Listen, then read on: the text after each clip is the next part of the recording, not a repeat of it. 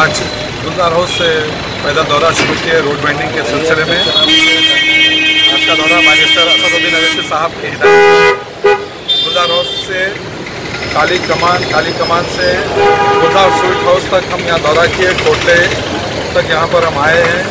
जो जो खास तौर से ज्योति बिल्डिंग का एक बड़ा प्रॉब्लम है, उस सिलसिले में तकरीबन प्रॉपर्टी जी टाउन प्लानिंग वाले एक्वायर कर लिए हैं।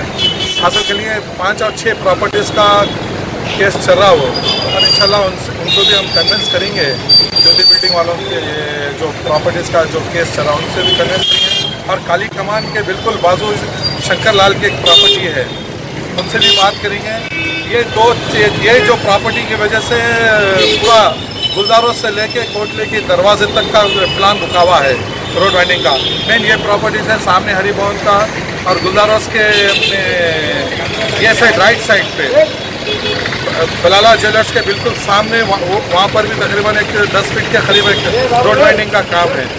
जो जो रोड वाइंडिंग का काम है, हम डायरेक्टर श्रीनिवास साहब है और हमारे डिप्टी कलेक्टर साहब यहाँ पर आए थे।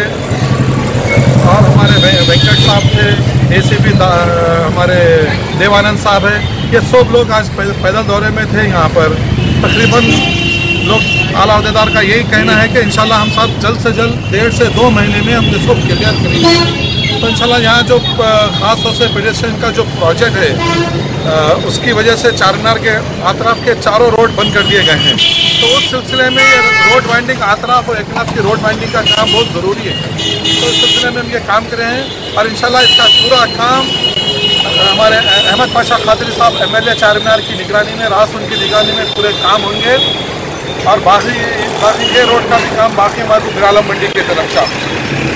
इंशाल्लाह वो भी एक दो चार दिन के अंदर इधर का भी हम दौरा करेंगे। पहले छिता बाज़ार का दौरा किए, आज गुलजार हाउस से हम कोटले तक दौरा किए, इसके बाद हम मिराला मंडी मीर का इधर का ये दौरा करेंगे।